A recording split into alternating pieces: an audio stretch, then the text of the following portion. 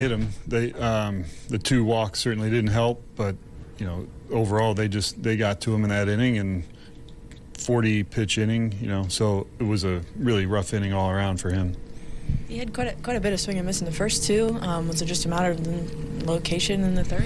Yeah, he was behind in the count. Um, you know, not not every hitter, but behind the count 2-0, the couple walks, which are uncharacteristic for him, and then when he did come in again, I I didn't go look at where those pitches were, but I'm assuming they caught a lot of the plate.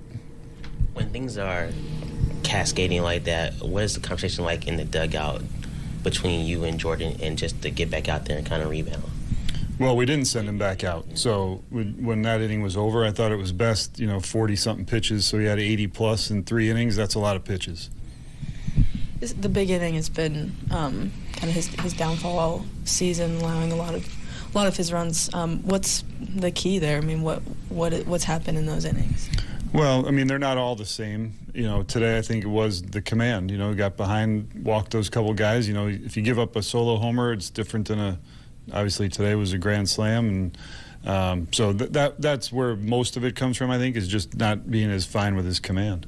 But he has a lot of, allowed a lot of home runs this year. Does, is that come to go down to command? Again, they're not all going to be the same. You know, I mean, it might be middle of the plate. Some of them, you know, pitch selection, whatever. You know, sometimes you just give up homers. I mean, he throws a lot of strikes. Guys hit. You know, when when you're in the zone, you're going to give up more homers. What's your What's your message to the team to kind of wipe this one away and, and just get back out there tomorrow? No message. I mean, we're going to have a game tomorrow at 110. We we got our brains beat in today and be back here tomorrow. It's just like if we'd won 15 to two, it wouldn't make any difference. What led, um, what was so challenging about Logan Gilbert today?